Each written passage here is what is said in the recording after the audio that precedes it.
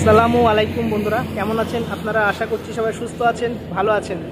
এখন আমি রয়েছি বহরমপুর বাইপাস ব্রিজের উপরে, আর আজকের গন্তব্যস্থান হচ্ছে একটি খুবই ফেমাস একটা খাবার, যেটার নাম হচ্ছে খাপসা রাইস। আমরা অনেক নাম শুনেছি, ইউটিউবে অনেক ভিডিও দেখেছি, তো সেখানেই যাব।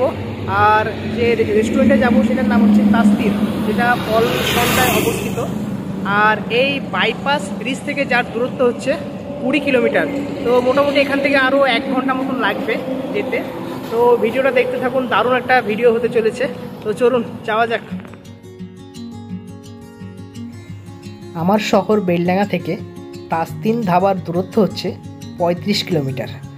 যেদিন থেকে খাপসা রাইস কথাটি শুনেছিলাম, সেদিন থেকে মনের মধ্যে ইচ্ছা ছিল এই খাবারটি খেয়ে দেখার। কেমন হয় এই খাবারের টেস্ট? ইউটিউবে প্রচুর ভিডিও দেখেছি। সকলেই বলে নাকি এই খাবার খেতে অনেকটা অ্যারাবিয়ান খাবারের মতন। আর খাবারটি নাকি অ্যারাবিয়ান দেশের খাবার। তার জন্য ছুটতে ছুটতে গিয়েছিলাম সেই তাস্তিনে টানা চার দিনের নিম্নচাপের জেরে সামনের জমিগুলো সব ডুবে গেছে, বন্যা আসার উপক্রম। আর আজকের আবহাওয়াটা এতটাই সুন্দর ছিল যে বেড়াতে যাওয়ার মতনই আবহাওয়া। তাই সকাল সকাল বেরিয়ে পড়েছিলাম তাস্তিনের উদ্দেশ্যে। বেলডাঙ্গা থেকে তাস্তিনের দূরত্ব হচ্ছে পঁয়ত্রিশ কিলোমিটার। মোটর সাইকেলে সময় লাগবে মোটামুটি এক ঘণ্টার মতন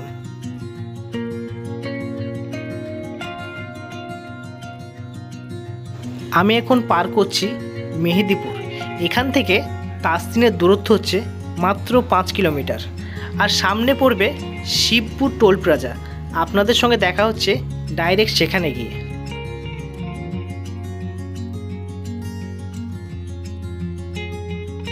বলতে না বলতে আমরা পৌঁছে গেলাম শিবপুর টোল প্লাজার কাছে। এটাই হচ্ছে সেই বিখ্যাত এনএস টুয়েলভের উপরে অবস্থিত শিবপুর টোল প্লাজা।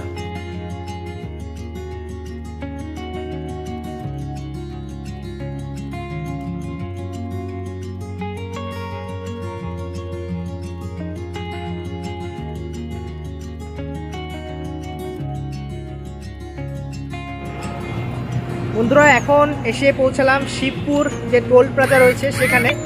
আর আমার ঠিক পিছনে দেখতে পাচ্ছেন টোল প্লাজা। আর এই যে সাইডটা, এটা হচ্ছে বহরমপুরের সাইড। আর এই সাইডটা হচ্ছে ফারাক্কা, মালদা বা শিলিগুড়ি যে দিকটায় বলেন না কেন, সেই দিকটা। তো এখান থেকে তাস্কিনের দূরত্ব হচ্ছে মাত্র পাঁচ কিলোমিটার। তো চলুন, যাওয়া যাক। শিবপুর টোল প্লাজা থেকে পলসন্ডার দূরত্ব হচ্ছে মাত্র পাঁচ কিলোমিটার। আর যারা সেই বিখ্যাত পাপ্পু ধাবা যেতে চান, তারা কিন্তু এই রাস্তা ধরেই যেতে পারেন। এই রাস্তা থেকে পলসন্ডা থেকে পাপ্পু ধাবা মাত্র এক কিলোমিটার। আর তাস্তির থেকে পাপ্পু ধাবার দূরত্ব হচ্ছে মাত্র দেড় কিলোমিটার। আমার ডান দিকে যেটা দেখছেন, এটাই হচ্ছে তাস্তির। তবে এখানে রোড পারাপারের কোনো রাস্তা নাই। তার সামনে থেকে ব্যাক করে আমাদেরকে আবার ঘুরে আসতে হবে এই সাইডে। তো চলুন সামনে ব্যাক করে আবার ঘুরে আসি।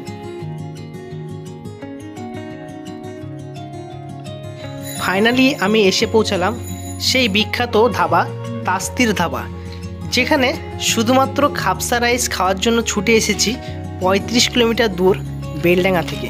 জানি না এখানে খাবার কীরকম হবে। তো চলুন দেখি, ভিতরে গিয়ে দেখি খাবার কীরকম। খাপসা রাইস ছাড়াও এখানকার ফেমাস খাবার হচ্ছে স্পেশাল চিকেন শাওয়ারমা যেটা আসলে একবার ট্রাই করতে পারেন। এছাড়াও এই তাস্তির ধাবাতে পেয়ে যাবেন বিভিন্ন রকমের তন্দুরি থেকে শুরু করে কাবাব, যেটাও আপনারা চাইলে টেস্ট করতে পারেন।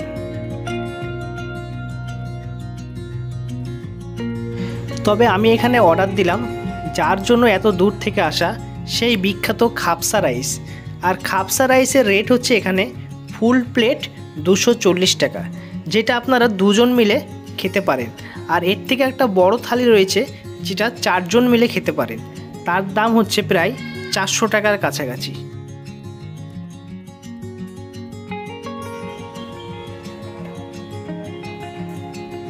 আমার সামনে চলে এসছে সেই বিখ্যাত খাপসা রাইস।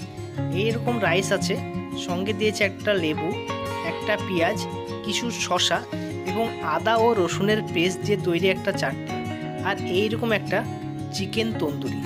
তো আমরা এক প্লেট নিয়েছিলাম, যেটার প্রাইস পড়েছিল দুশো চল্লিশ টাকা। তো চলুন দেখি বন্ধুরা, খাবারটা খেয়ে দেখি, খাবারটার টেস্ট কীরকম আছে, খেয়ে আপনাদেরকে জানাচ্ছি।